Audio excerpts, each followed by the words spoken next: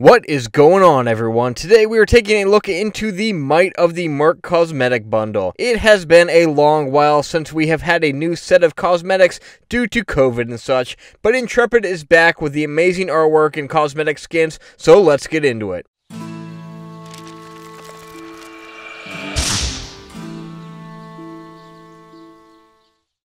A swamp is a sweltering mass of stagnation and decay, yet beneath and above the billowing depths, life thrives. For those who know where to look, untapped power may be found. Be wary, as with any power, it is well guarded, and one would do well to remember that the bog is always watching. That is the theme behind this month's cosmetics.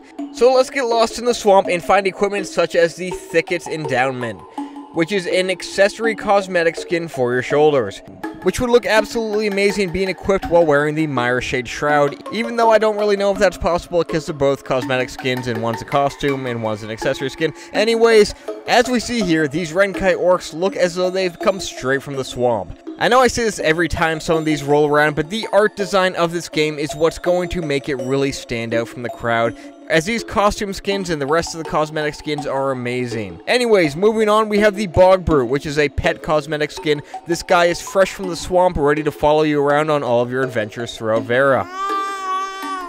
If you watched my latest video, I talked a bit about how I missed the 2018 Shell of the Ancients turtle mount, seeing how well Intrepid does with turtles. Well, the Timeless Terrapin will not be one I miss out on this time, as this turtle, who kinda looks like a dinosaur, once again looks amazing. With his vegetation growing on the shell and the glowing blue from underneath the shell, it looks great and I can't wait to ride this turtle around. We then have the Verdant Voyager, which is a caravan skin. So if you want all of your goods to be carried away by a crocodile, this is the set for you. And lastly, we have the Refuge of Tranquil Waters.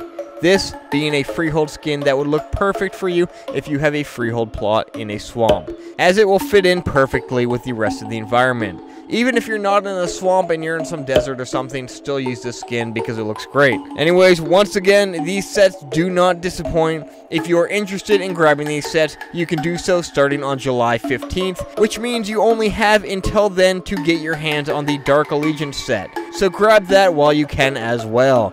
And like always, these sets come in various bundles for you to buy, granting you these various cosmetic skin items along with things such as alpha and beta keys, in-game currency, and subscription time as well.